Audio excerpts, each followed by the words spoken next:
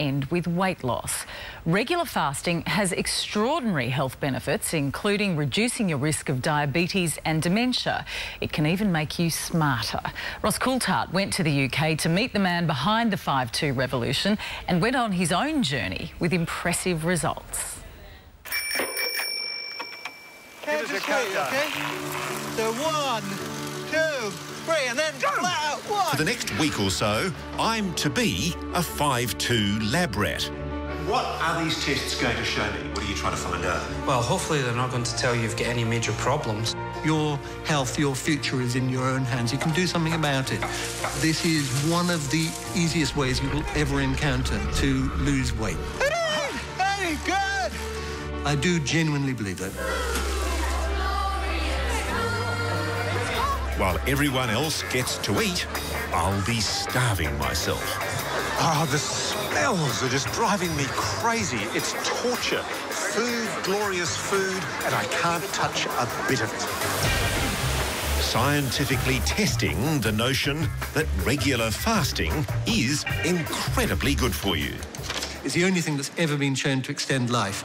So much of what I've always taken for granted about food will be turned on its head. Well, what I tend to say to people, you know, actually, we've been giving rubbish dietary advice for years. I've also learned that all those years sweating in the gym have probably been a waste of time. I'm not telling you you need to go to the gym. All you need to do is three minutes of intense exercise a week. I'm going to go find somewhere quiet where there's no food. I wish Michael Mosley was here. I would give him the biggest hug. He's transformed my life. Now, I'm hoping he's going to transform me. Dr. Michael Mosley is the BBC science presenter credited with discovering 5-2. Michael Mosley. Hello, I'm Ross Coulthart. Please come in. A very hungry Ross Coulthart. From his home in the English countryside, the father of four with a background in science and medicine Keep working, everyone. Keep working. is leading a revolution, championing the surprising benefits of fasting.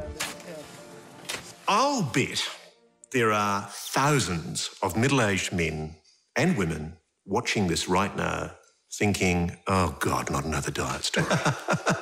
Yes. No, I, um, you know, I despise diets. Uh, before all this happened, um, I had looked at diets. I'd seen my father struggle with. He did the working man's diet. He did the drinker's diet, the businessman diet. He tried everything. He failed on all of them. And so um, everything I had read told me that diets don't work. Michael didn't set out to discover a diet. He didn't even think he had a weight problem. As a child, he was skinny. As an adult, a little heavy around the middle, but nothing to worry about, or so he thought. His father, however, always struggled with his weight and the problems that caused him. He died at the age of 73 and he was diabetic, he had heart failure, he was going demented, and he also had um, prostate cancer. when did you first realise that you were headed the same way, unless you did something about it? It was really, I went to see a doctor um, about something completely different. I was worried about a sort of mole I had, and she did a routine blood test, and she said, I have some very bad news for you, that you're a diabetic. We're going to have to put you on medication. And your cholesterol, by the way, is also uh, sky high at the moment. I've discovered that my body is not the lean, long-lived machine I would like it to be. Third of your body's fat. Thank you for making that point so emphatically. Yeah! Worried by the diagnosis, Michael went searching for solutions and along the way filmed his journey of discovery for the BBC.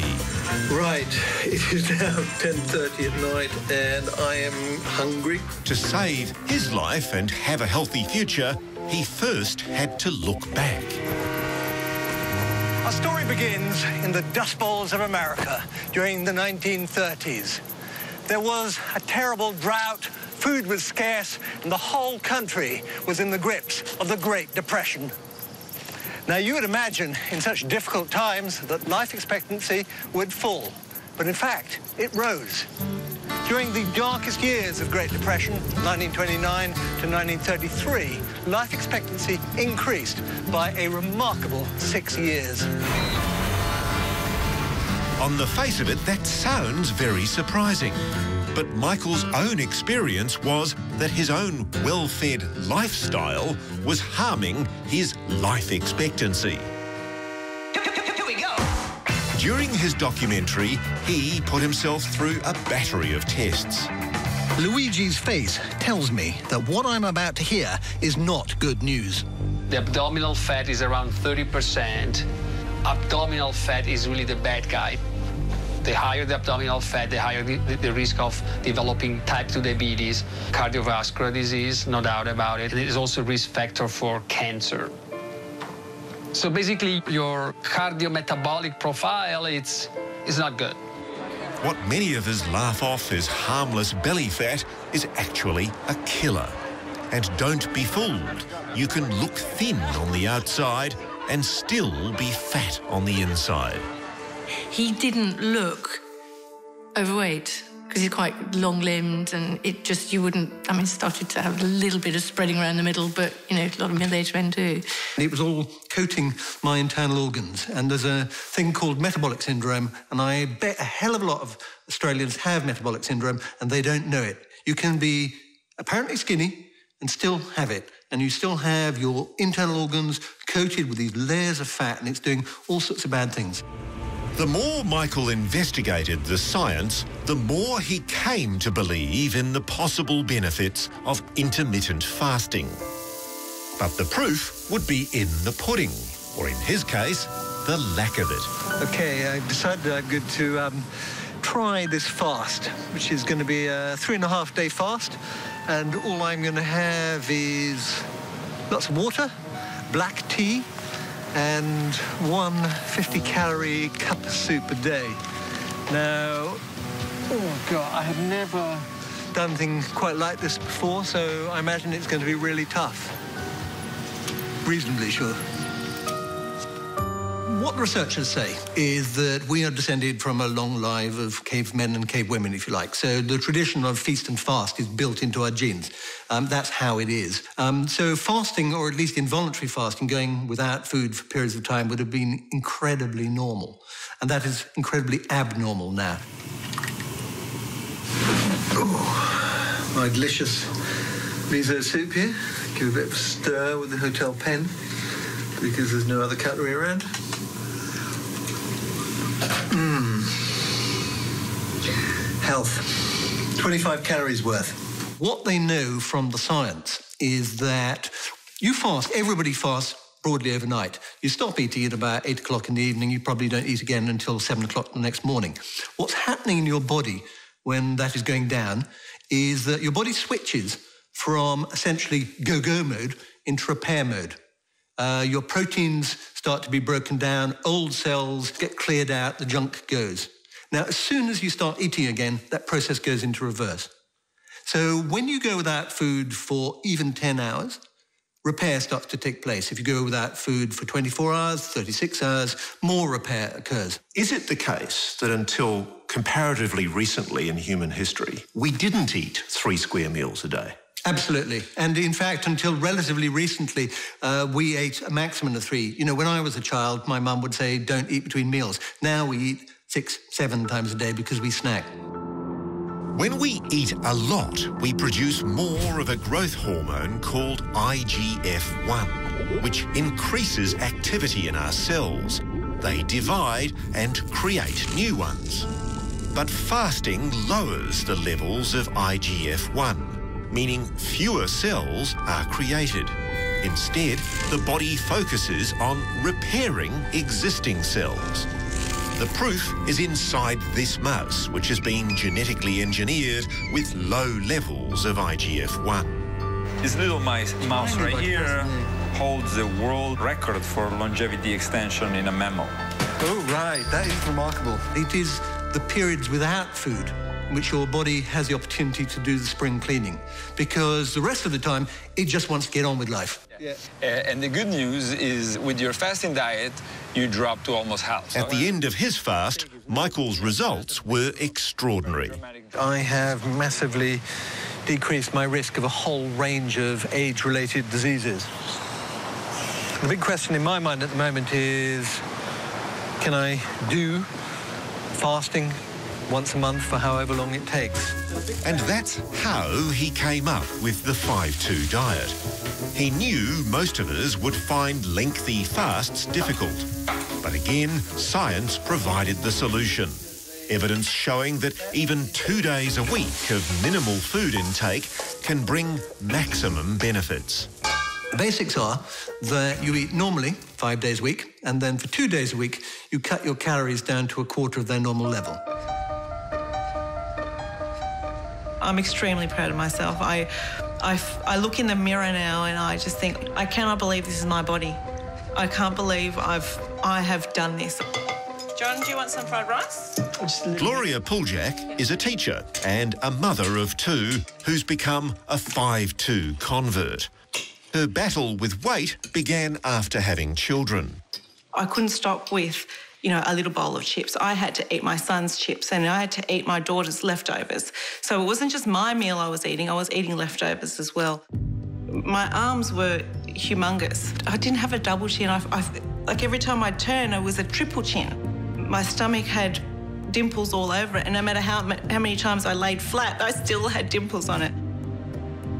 At her heaviest, Gloria weighed 82 kilos, and her blood sugar levels were dangerously high. Then she saw Michael's documentary, read his book, and tried 5-2. She's lost more than 20 kilos in a year, three dress sizes. She's also turned around her risk of diabetes. Her blood sugar levels are now normal, much to the delighted surprise of her doctor. She said, I can't believe how healthy you are. You're the healthiest you've ever been, even before you had kids. So it, I just was, I just thank Michael for everything.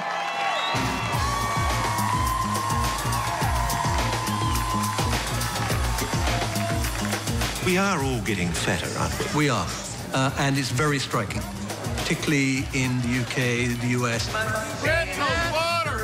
and Australia. Australia has been shooting up the obesity uh, ranks, as you well know, and I think you're probably about number four and number five at the moment. Uh, we're only number seven. The Americans have slipped down to number two behind Mexico. I have to say there'll be a lot of Australians quite shocked to hear that they're fatter than Brits. Uh, they're fatter than Brits, but the New Zealanders are even fatter than them, so that uh, you're doing slightly better than your cousins across the water. Now here's something to make us think. Fasting may also make us smarter. We're finding by putting electrodes in the brain of animals that during fasting, their brain cells are more active. So we're actually cleverer when we're fasting. Yes, and that, again, if we go back to the evolutionary considerations, uh, it makes sense. If you haven't been able to find food, your brain better be functioning well. It dates back to when we were cavemen. So I'm a starving caveman. I'm hungry. Yeah. In order to catch food, I've got to be sharp and agile. Is it as simple as that? Exactly right. If you're not sharp and agile, you're not going to compete successfully. You're not going to get enough food to survive. Professor Mattson's studies have also found that fasting increases the ability of mice to remember and learn, and it decreases their risk of dementia. In the humans, all we can say is that there's some epidemiological data that suggests that uh, people who overeat are at risk for Alzheimer's disease. As I neared the end of my fast, there was one final tip from Michael Mosley about a little thing called exercise and how most of us are doing it wrong. So we've just passed a lady and she's kind of jogging, which is fair enough. But unfortunately, unless she puts in a few bursts, unless she decides to try and sprint up this hill ahead of us, it's probably not going to do her very much good. I mean, it's better than nothing, but it's not a fabulous... So she's actually wasting her time? Pretty much, unfortunately. Michael's view is that those hour-long gym workouts are 57 minutes wasted. Instead, intense bursts of exercise, as little as three minutes a week, are the key to longevity. Go! I think this. Good. We were descended from hunter-gatherers, and when you look at hunter-gatherers, what do they do? They have periods of feast and famine, and do they do lots of workout in the gym? No, they do not. Oh, for bloody hell, too. They have periods where they do quite a lot of walking, but in dispersed, they have short bursts where they're either running away from something or running to catch something. They have very, very short bursts, and our bodies seem to be designed for that.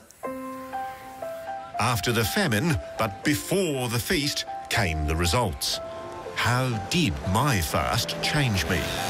Let's have a look. I'm 98.8 kilos. I was 104 and a half kilos. That's amazing. Wow, that's quite impressive, isn't it? Yeah, I'm pretty happy about that. kilogram. Should we check your blood pressure? And the good news didn't end there. My blood pressure and glucose levels had returned to normal. Before the fast, they'd been a little on the high side.